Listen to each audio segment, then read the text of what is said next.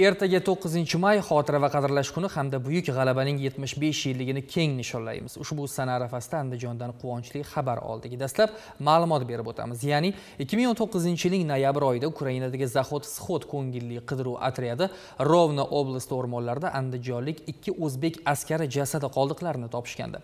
Ularning cho'ntagidan chiqqan medalyonda har ikkisi to'g'risida barcha ma'lumotlar mavjud edi.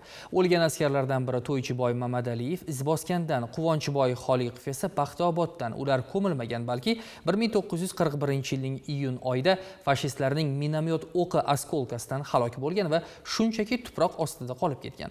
Bu ikki nafar andijonlik askar haqida biz dasturlarimiz davomida bir necha bor to'xtalib o'tgandik.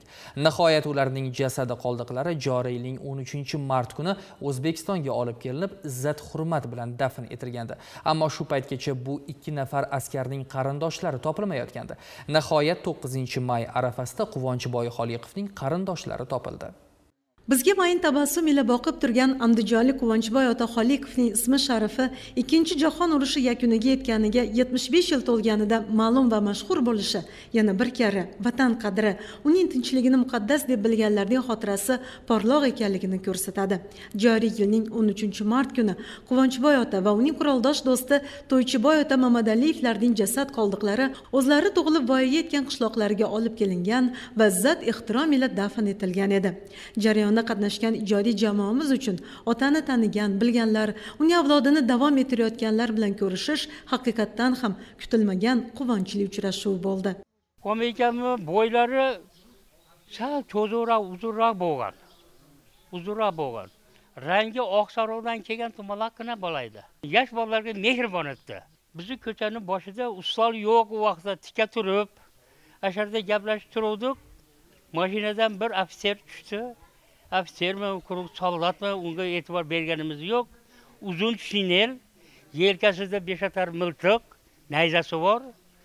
Bizni ko'chaga kirib ketdi. Qo'shnimiz cho'tboyev xolvoy degan odamni olib chiqdi. Olib chiqib bu uchovini inaki mashinaga soldi xayrlashdi. Qo'shnimiz batqosim tog'a deb qari chol edi shu odamni chaqirib duo oldi bular.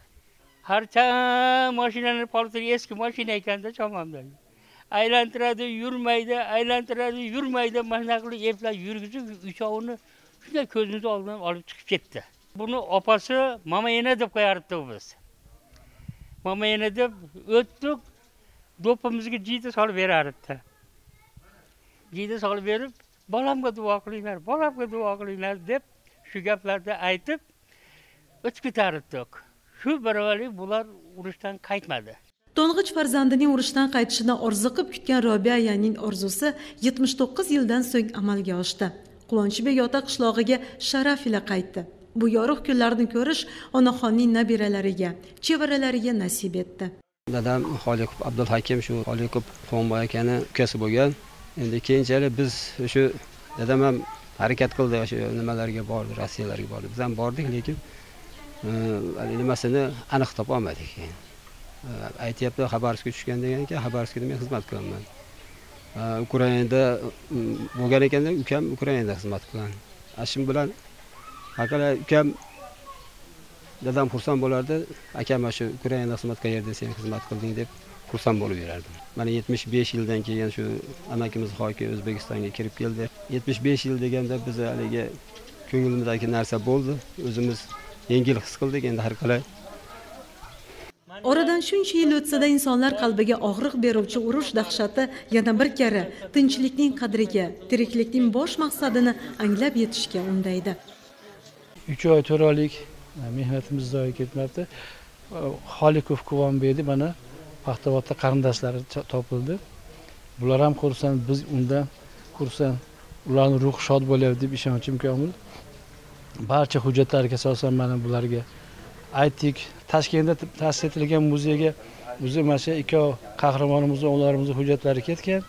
Endi u yerdan ukrainadan ularning shaxsiy qurollari shaxsiy buyumlari qolib ketgan edi. Endi xudo xohlasa vaziyatlar sal o'rniga tushyapti koronavirusdan qutulyapmiz. Olib kelamiz ana shu muzeyda bo'ladi. Bu narsa biz yoshlarni vatanparvarlik ruhida tarbiyalash juda katta ahamiyatga ega deb bilaman. Mana shunga erishganimizga xursandman. Ikkinchi jahon urushida bedarak yo'qolgan ota bobolarimizning soni bir nafarga kamaydi. Qisqa umri davomida o'zbekning mard jasur o'g'loni degan sharafli nomga sazovor bo'lgan quvonchboy ota xolikov misolida yana bir karra inson aziz xotirasi muqaddas ekanligini his etamiz.